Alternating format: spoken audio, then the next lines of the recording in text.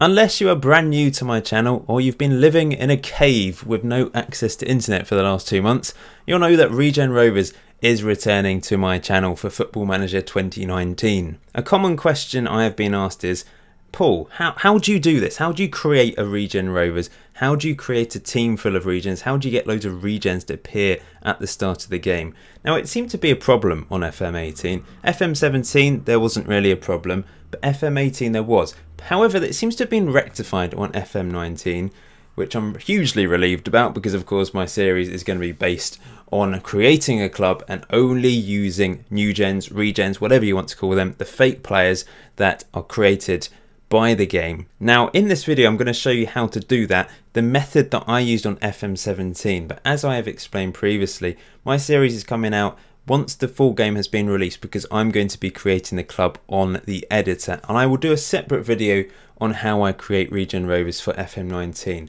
but I want to show you how to create Regen Rovers the old fashioned way uh, which is the create a club mode. And now there is a really important button that you need to press for loads of new gens slash regens to appear at the start of the game and it's this one here. You need to make sure you have add players to playable teams selected. Now in the old days I noticed if you click this you'd get lots of old new gens appear so they'd just be 26, 27, 30 years old etc. However on FM19 they seem to have changed it so you get loads of young regens 15 16 year olds which is what i want. So i'm going to be selecting this button.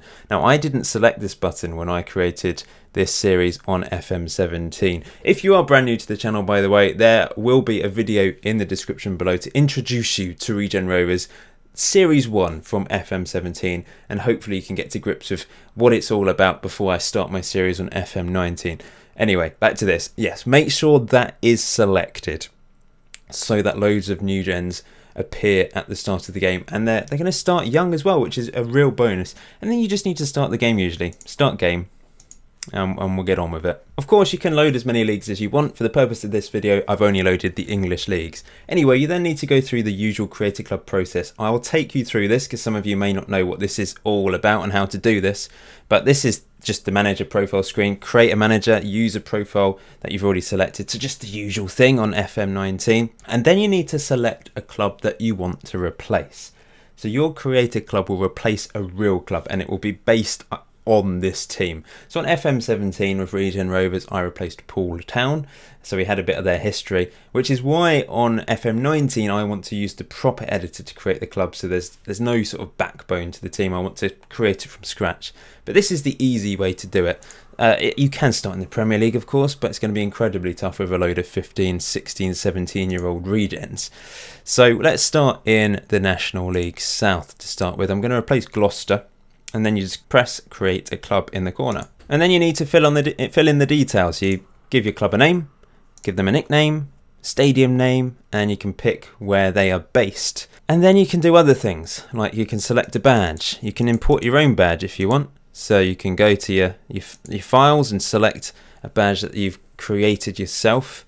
Uh, one of the downsides, I don't know if this has been changed, but on FM17, one of the downsides was that once you've selected your logo, you couldn't change it afterwards, which is why I want to use uh, the editor for FM19, but it doesn't really matter too much, and you, you may not care about that, but just bear in mind, I'm not 100% sure, but if it's still the same as previous, once you've selected your logo, you can't change it, but that may have changed. And then you can pick your, your, colours, you can just change it to whatever you want, really.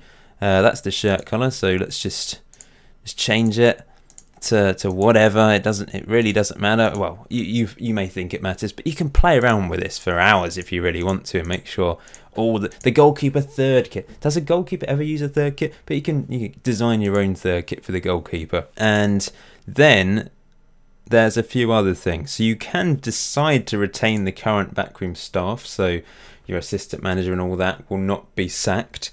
But I don't want that because remember, my Save Regen Rovers was all about only using regens. That includes the backroom staff as well.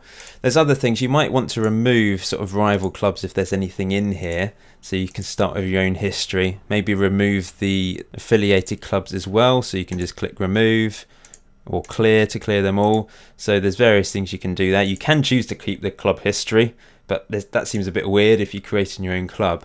Now, the next bit is is the second key bit. Now, the first bit, of course, was remembering to add players to the playable team. That button when you start the save, that's that's a huge thing. And once you've clicked on that, you'll get loads of regens appear. So you can see, for example, Lewis Phillips is a regen. He's a fake player on the game. Doesn't have a real face. This is a generated face because he's a generated player. Michael Bird is the same. And you'll notice all of these 16 year olds, possibly 17 year olds are as well. Yep, they are. So the 16, 17 year olds are the regens. Now, you'll want to remove everyone else because these are real life players. And we don't want real life players. We only want regens, remember. So you need to remove these other players. So what you can do is hold down shift, click on this guy here, and then hold down shift on your keyboard, keyboard scroll down to the bottom, click on that, and all you need to do is press remove player and it will remove them all. Don't press clear squad because it'll get rid of your, your regens as well and you have to go back to the start. So just press remove player and you've removed all of them and you've got a team of regens. And then you just go through, choose your managerial style I mean, if, we're being realistic, I'd be an awful manager at this level, of course. And that's it. You've created your club. You've got your badge. You've got your team name. You're in the, the National League South. You've got all your regens. I'm on the under 18 squad at the moment. That's where most of the players are. There's currently only two players in the first team squad, as you can see here. Cameron Collier and Noah Smurden. He's a real player. So you need to check. You need to check through for the real players because there might be the odd real 17 year old, 16 year old player in there. If you want to be completely 100% accurate, make sure you remove all of those real players before starting the game. Uh, but on the whole, these should probably be all regens. I hope they are anyway. You'll notice that some of them are absolutely atrocious. So you're going to have to go out and find some players. Scout for players. Just look for 16, 17 year old players uh, simple thing to do really. Do new search, click on a centre back for example. Make sure the age is reduced down to 15 to 17 year olds. Click on that, make sure you untick that so you can find all the players. Now a sneaky tip here is to insert a column. Go to general, click unique ID. Now all the regens will start with a 191 I believe. Let's just double check. So Wilmot, Yep, he's a regen. Brian Mills, he's a regen. Terry Thulis, he's a regen. Yeah, so all these players with 191. In fact, it starts 19154, I think, all the regens. So that's a top tip. You can add that column in and you can search by unique ID, basically. So any player that has this, for example, that's a real life player. But 191 is a real, is a, a regen, sorry. So hopefully you found this video informative and it's enabled you to create your own Regen Rovers Club for those of you that have no idea how to do this. There's been a few people asking me so I thought I'd make a video to help you out. If you have any questions, stick them in the comment section below. Like I said, Regen Rovers is returning for FM19 when the full game comes out in November.